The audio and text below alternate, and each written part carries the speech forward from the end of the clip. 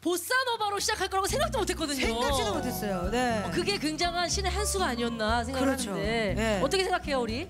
어, 네, 또 저희 그 만남이라는 선배님 곡이랑 밤이 조금 어, 정반대 곡이라고 생각을 하는데 네. 보사노바라는 장르로 이렇게 잘 섞인 것 같아서 네. 굉장히 감격스럽습니다. 아. 아니 그리고 새로운 시도였어요. 네. 그 우리 유주 파트에서 만남 노래가 만남이 같이 또- 섞여서 나왔잖아요. 네. 차죠 그 부분. 네. 거기가 거기에서 아마 많은 분들이 표를 누르신 것 같아요. 그리고 사실은 네. 솔직히 같이 따라갈 수도 있거든요. 네. 떨려- 자칫 잘못하다가 자칫 잘못하다가 상대 거 따라가죠. 떨려오는 사랑에 맞아요, 맞아요. 네. 사랑에 같이 유주 씨가 아주 네. 집중한 게 보이더라고요. 초집- 네, 한 곳만 바라보고 불렀습니다. 네.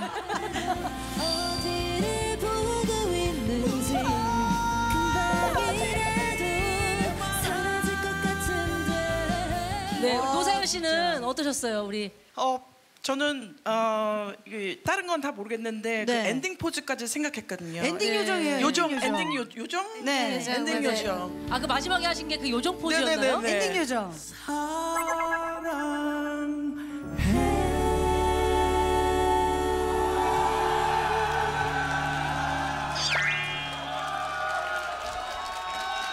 입술 키스 날리고 키스? 하고 윙크하는 건데 네. 노래까지 하고 이거까지까지.